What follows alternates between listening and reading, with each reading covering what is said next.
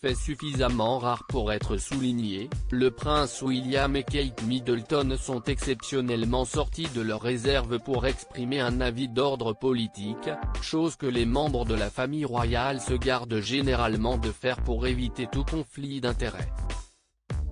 Deux jours seulement après le début de l'invasion russe en Ukraine, le duc et la duchesse de Cambridge ont apporté leur soutien au président ukrainien et ses concitoyens. En pleine guerre, Volodymyr Zelensky a pris le temps de témoigner sa gratitude. Olena et moi sommes reconnaissants envers le duc et la duchesse de Cambridge de la Royal Family, qu'à ce moment crucial, alors que l'Ukraine s'oppose courageusement à l'invasion russe, ils se tiennent aux côtés de notre pays et soutiennent nos braves citoyens.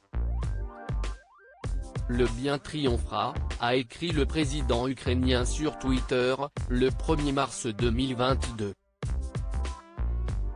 Le 26 février, sur ce même réseau social, Kate Middleton et William avaient rappelé leur rencontre avec Volodymyr Zelensky et son épouse lors d'une visite à Buckingham, il y a un peu plus d'un an, en octobre 2020, nous avons eu le privilège de rencontrer le président Zelensky et la première dame pour discuter de leurs espoirs et leur optimisme pour le futur de l'Ukraine.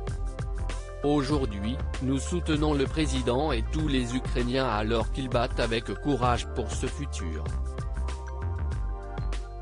WC